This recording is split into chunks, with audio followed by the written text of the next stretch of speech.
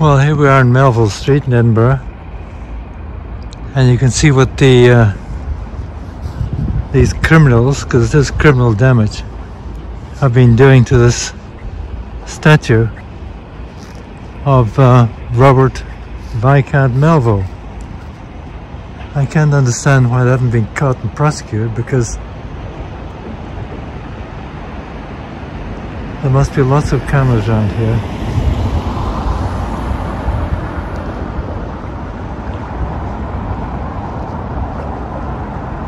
I see they've tried to scratch some of it off, but not very much.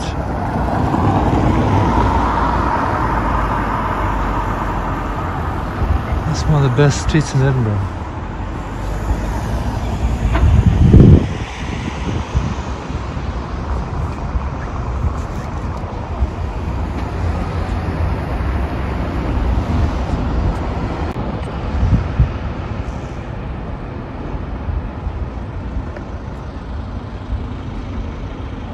Uh, I see a parking warden approaching my car, so we'll have to go back and see what's going on.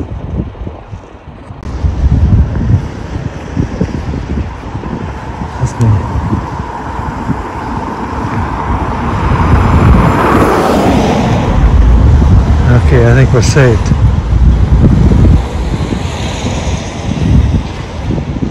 Wonderful church that. St. Mary's.